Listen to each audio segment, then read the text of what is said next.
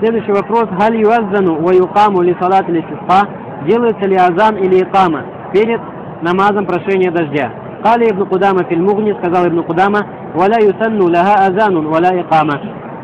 Перед намазом прошения дождя не является сунной давать ни азан, ни икаму. Валя на'ламу фихи хиляфан. И мы не знаем относительно этого никакого разногласия. ونقل ابن بطال الإجماع أيضا على أنه لا يوزن لها ولا يقام. И также Ибн Батталь передал единогласное мнение на то, что перед намазом прошения дождя не дается ни азан, ни икама.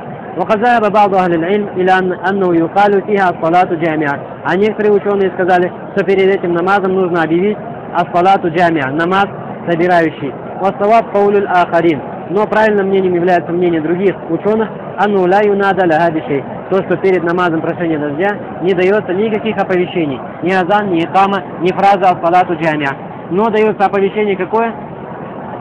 Как пришло хадисе, что пророк Салсам назначил людям определенный день и сказал в этот день выйти в такое-то время туда-то. То есть, если ты просто людям объяснишь это, то есть скажешь это, допустим, во время урока или после какого-то намаза и так далее, что в такой-то день выходим, э, собираемся там-то, все, этого достаточно. И не делается ни азан, ни кама, ни фраза ас-салату джамиа.